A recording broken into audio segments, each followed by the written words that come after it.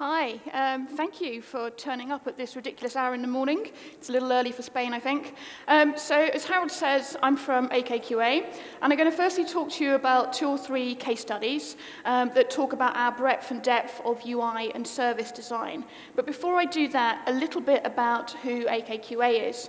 So, for those of us who, those of you who don't know us, we are an ideas and innovation company, so answering any problem that our clients come to us with, from um, in-car connected, through to connected products, through to big digital ecosystems. And we do that by ensuring that we're always creating meaningful innovation and meaningful ideas. As I said, I'm going to take you through three case studies, but because it's early, I'm going to start off with a little short show reel that shows you a little bit of AKQA's work.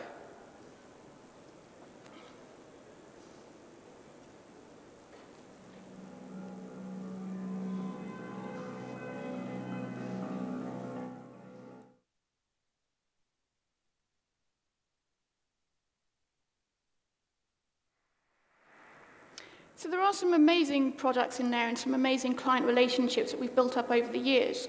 But I want to talk to you about three different stories and how we've approached service design on those. And starting with TUI, So TUI is a global brand. They own 270 sub-brands. Now that's a big company. And you don't normally associate a company of that size with the words lean, agile, startup, or anything like that. And I think it's safe to say that the package holiday industry hasn't necessarily been that digitally focused over the past few years. But with TUI, And with all holiday companies, their clients are changing and their clients are expecting them to deliver relevant and meaningful digital experiences. So they needed to evolve and they needed to evolve pretty quickly. So they set us a challenge. I think you're meant to call this a brief, but to me it seemed more like a challenge. They wanted a fully functioning um, travel app for one of their brands initially that would work on iOS, but a couple of weeks later needed to be cross-platform. That enhanced both the tr pre-travel and vacation experience of TUI customers. And if we could deliver that and get that live in the App Store within six weeks. So that's quite a big ask for a brand that you've never worked with and you don't know anything about. In order to get that right, we needed to start with a vision. Uh, we needed a vision that was going to keep us on track and keep us very tight on track. Um, and as you can expect, I'm head of user experience. We obviously started with the customer. So we started off by understanding that entire holiday life cycle. Everything from browse, inspire, book, search, all of the exploration elements of understanding a holiday, and then everything in destination. TUI is a package holiday company, so they're obviously looking to upsell, cross-sell, and make people have the most amazing experience possible whilst on their holiday. So we started with that vision, and we decided to create an app that would allow people to, at the touch of a button, see everything about the holiday that they've booked. Um, and then on top of that, to be able to edit it, change it, to have the best experience possible when updating their holiday. This meant we needed to be hooked into TUI's live booking systems, again, all in six weeks. So how do we do it? Well, we changed the rules of an agency-client relationship a little bit. Um, we broke the rules, we cut the crap, we cut out documentation, got rid of anything that might get in the way of us actually delivering a product, and ended up um, working day-to-day -day, delivering live code. So every day having something on your device that you could play with, you could see, and you could explore. Then on top of that, um, we removed any sort of hierarchy within the team. We got rid of anything that was going to get in the way. So no sort of designer, senior designer, art director, creative director, executive creative director. Everybody's job was to get this app out the door. Small team of six people, AKQA folk, and a few of the clients in one room together. And we took an approach that, again, you often don't see in the agency-client relationship. We took the approach that getting something done was going to be better than making something perfect. Normally in an agency-client relationship, you see the most amazing, perfect solutions delivered on beautiful boards and beautiful decks. We took the approach that getting something on the phone, something you could play with, was going to be better than having final, perfect, creative every time. But obviously that's a fine balance, right? Because done may be better than perfect, but done is certainly not better than crap. So we needed to make sure that what we were getting out there was good enough, was going to be right. And we did that. The guys got it out there within six weeks and in the App Store with a few little sort of backhanders to Apple, I think, along the way. Um, and then very quickly that needed to evolve. So as I said, TUI had 270 brands, and they needed to see that moving across all of their brands very quickly.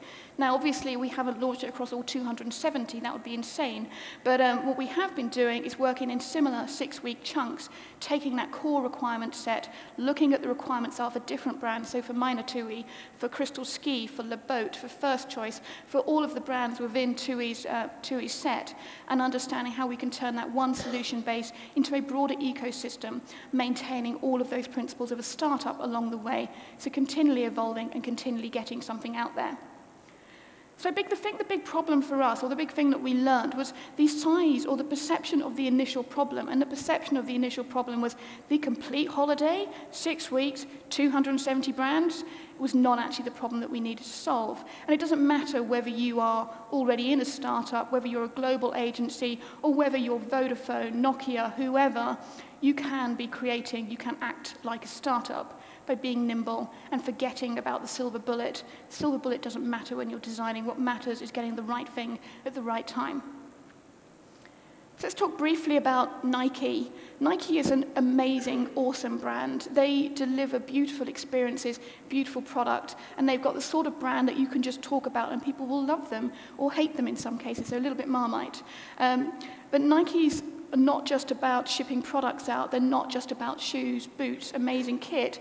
They actually have an ultimate goal, and their ultimate goal is to democratize athleticism.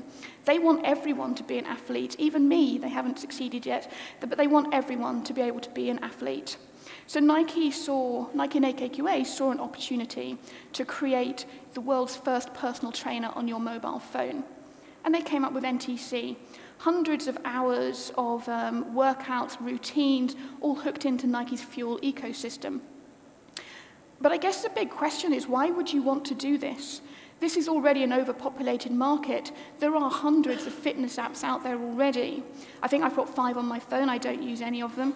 Um, there are hundreds of fitness apps out there. But for Nike, and I think it's worth mentioning, NTC is a women's fitness app. They started with two insights, and they started with the fact that they had the credentials to do this.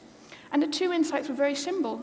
Um, personal trainers, they're pretty scary. Personal trainers are pretty daunting. You don't go to a gym to have fun with your personal trainer. They are not designed to be fun and friendly people. They're designed to make you work hard. And most women we spoke to don't like them. The fact going to a gym generally is a little bit scary. Going to a gym and dealing with one of these personal trainers is even scarier. But to get a training program that's going to work for you in the time that you've got for your motivational needs to fix the problems that you might have actually kind of needs a personal trainer. Otherwise, you won't get it right. So we took those two insights, and Nike took the fact that they have the credentials in order to do this, and we started creating NTC. Now, obviously, as head of UX, I'm always talking about how the consumer comes first. We always listen to what the user wants. But interestingly, with NTC, we listen to a different target audience. We listen to the Nike's pro trainers. Out in Portland, they've got hundreds of professional trainers whose job it is to design the best and most perfect training program for you, for whoever you are. We worked really closely with those guys. Whereas on TUI, we didn't get to go on holiday to experience that full holiday life cycle. On NTC, we did get to experience Nike's pro trainers, and the ugly bunch at the top there, that's them. I think that's pre-workout. They're looking okay at the moment. Um, we did get to experience Nike's training program to get that understanding from, as a user, how does it feel like? How do I understand it? Do I know if I'm doing a plank correctly? And then from a trainer's point of view, how can I explain this to someone who isn't in front of me? How can I tell them how to do a plank correctly? How can I make sure people know what they're doing? So the entire app, NTC, was built around Nike's training team, built around their understanding of building the right training program, but also built around their understanding of how we can explain these big problems to people, and again, what those digital pain points are. And I think it's fair to say that training isn't something that actually is a digital solution. Training is a real world solution. So we need to look at where could digital support on top of that and looking at where the technology could help us along the way. We're not creating an app for the sake of it. We're creating an app that allows you to have a Nike trainer in your home. And there are elements where digital can help you. Digital can potentially tell you how to do a plank correctly. And along the way, we needed to evolve. So we make sure that we connect with those real world experiences. It's not digital for the sake of it, it's understanding the proper problems out there. And in this case, it was how do you get a personal trainer to teach you how to train properly. And we keep evolving. So as you launch something, and you will know this once you launch something, you've got to keep on changing it and keep on growing. And when you launch it, it's then um, it's then about change. So you look at the technology and how the technology is evolving and how you can then grow on top of that. So now we can use a phone to actually show you whether you're doing a plank correctly by placing it under you. So finally, and very quickly, because I know I'm running out of time, Philips and connecting people, connecting products even. So connected products is, and I think Lars is going to talk about it a little bit more later, connecting products is an awesome space to work in as a designer. It's brilliant. There's loads of awesome opportunities, great stuff you can do.